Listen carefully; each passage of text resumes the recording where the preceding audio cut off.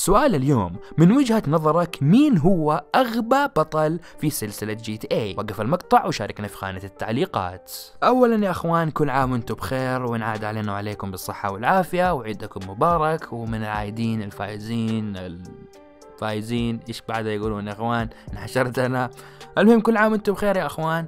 عيدكم مبارك. هلا والله. السلام عليكم ورحمة الله وبركاته. كيف حالكم؟ طيبين بخير مبسوطين. رجعنا لكم بمقطع جديد ومقطع زي اللهاب. طبعا في مقطع اليوم يا أخوان راح نستكمل سلسلة فضح الألعاب لكن بطريقة مختلفة. واليوم المنافسة راح تكون ما بين أجزاء GTA الخمسة وتحديدا راح نركز على نقطة هل فعلا أبطال سلسلة GTA أذكياء ولا فعلا أغبياء مثل ما أشيع عنهم في الفترة الماضية؟ فخلونا نخش سويا في المقطع. طيب يا أخوان الفترة اللي راحت سمعت شائعات كثيرة تدور إنه أبطال سلسلة GTA معظمهم أغبياء ويتصرفون بشكل غبي في مواقف معينة. فحبيت إني أتأكد من هذا الأمر بنفسي وحبيت إني يعني أجيبكم وأخذكم معايا في هذه التجربة الفريدة من نوعها فخلونا بسم الله نبدأ. طبعا تركيزنا اليوم يا أخوان راح يكون على تحديات موجودة راح نوضعها للأبطال وراح نشوفون أو راح نشوف يعني كيف يتصرفون. طبعا أولها هل الأبطال راح يقدرون يتفادون السقوط في الماء أو البحر في حال إنهم كانوا راكبين سيارة والسيارة على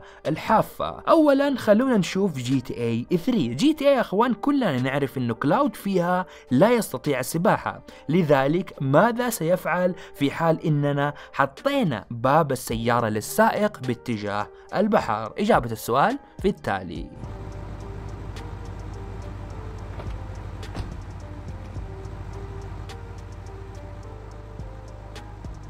كلاود يا أخوان نعم ما يعرف يسبح لكنه ذكي. زي ما شفتوا يا أخوان كلاود لاحظ إنه باب السائق فيه له خطر عليه. لو إنه طلع منه لذلك قرر إنه يطلع من باب الراكب بكل ذكاء وبكل حنكة. برافو كلاود في هذه النقطة. نروح ل GTA Vice City وأيضا نفس الاختبار. وكذلك زي ما تعرفون تومي فيرسيتي ما يعرف يسبح. لذلك كيف راح يكون تصرف تومي في هذا الموقف؟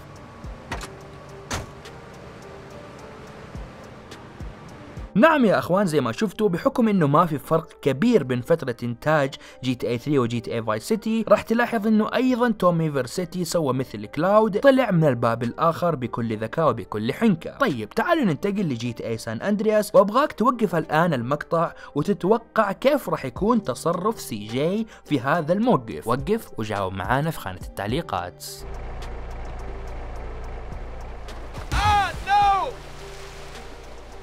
للأسف يا أخوان أكثر واحد كنا متأملين إنه راح يطلع بردة فعل مميزة للأسف إنه كان الأغبى زي ما شفتوا. CJ بكل غباء طلع من الباب أو باب السائق المواجه للموية أو البحر وفعلا سقط فيها زي ما شفنا. فسؤال بسيط يا أخوان هل تتوقعون تصرف كلاود وتومي فيرسيتي صار بهذا الشكل لأنهم ما يعرفون يسبحون؟ عكس CJ اللي يعرف يسبح ولا لا؟ أبغاكم يعني تشاركوني في خانة التعليقات على هذه النقطة. طيب نجي ل GTA 4 وأيضا نفس الاختبار راح نطبقه عليها علما بأن نيكو بيليك يعرف يسبح ووضعه جدا جدا تمام.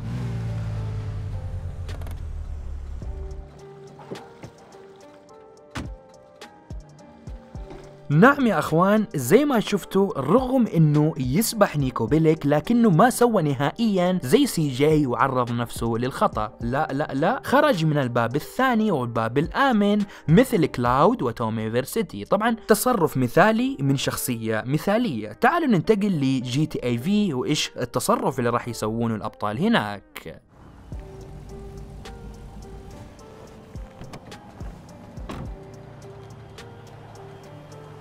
نعم يا أخوان أيضا على نفس طريقة تومي وكلاود ونيكو فرانكلين راح يطلع من الباب الثاني والباب الآمن. لذلك يا أخوان الاختبار الأول استنتجنا منه انه CJ هو الغبي ما بين الخمسة في هذه النقطة. طيب ننتقل للاختبار الثاني وهو نفس الاختبار الأول لكن بإضافة سيارة أخرى تحجب الباب الآخر والباب الآمن زي ما تشوفون. وبدءا ب GTA 3 هذا هو تصرف كلاود.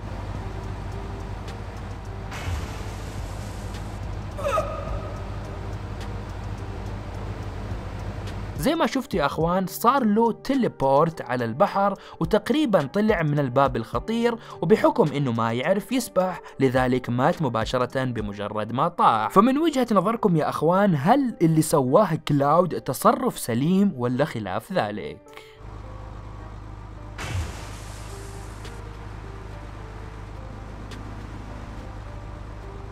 أيضا يا أخوان GTA Vice City نفس ردة الفعل راح يطلع من الباب الخطير ب teleport غريب جدا وراح يغرق تومي فيرسيتي مباشرة.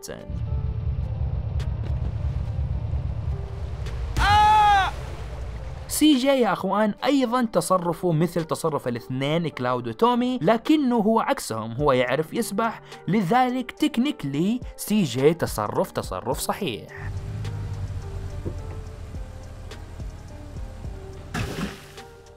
نيكو راح يطلع ويفك الباب الخطير بيده ثم ينزل للبحر عشان يسبح فيه. تقريبا نفس ردة فعل CJ لكن الحسنة الوحيدة إنه نيكو ما سوى teleport وانتقل. انتقال غريب إلى البحر. لا فك الباب بشكل جدا جدا طبيعي وطلع منه.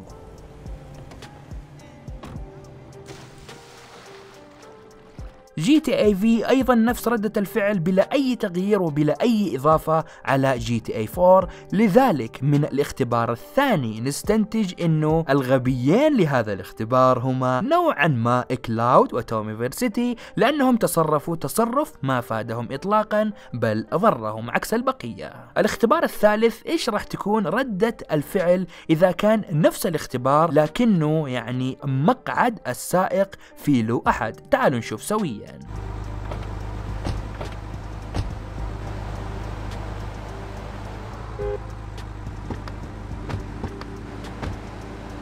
You think you learned or something?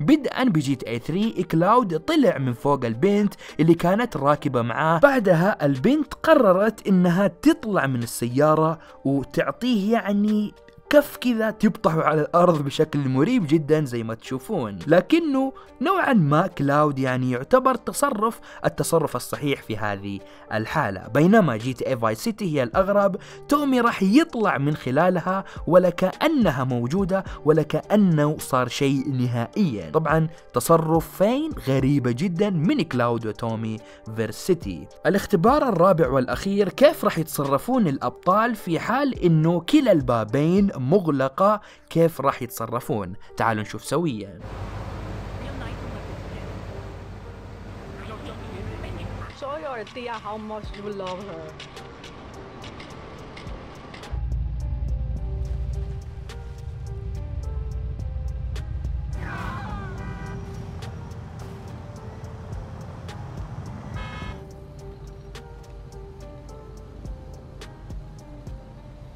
زي ما شفتوا يا أخوان تقريبا كل الأجزاء بكل الأبطال يسوون فيها teleport ويطلعون من السيارة ب teleport وتنقل غريب زي ما شفنا. بل إنه حتى الأجزاء المتقدمة والجديدة GTA 4 و GTA 5 نفس الشيء. إذا السيارة محشورة من الجهتين ومقفلين البابين الشخصية راح تسوي teleport وراح تطلع منها ب teleport وانتقال مريب جدا. وصراحة يا أخوان هذا تصرف كارثي وكارثة جدا. جدا وسقطة في تاريخ Rockstar Games لأنه أمر غير مقبول تماما. إليكم التصرف الصحيح في هذا الموقف في لعبة Sleeping Dogs